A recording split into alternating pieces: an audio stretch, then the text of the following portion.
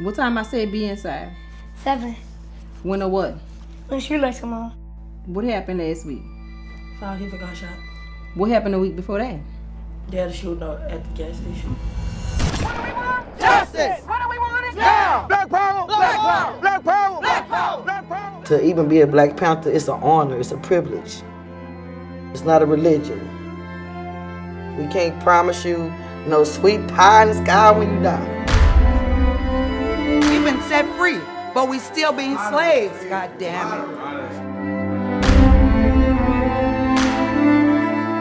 You should know why I'm teaching you how to fight. To protect yourself.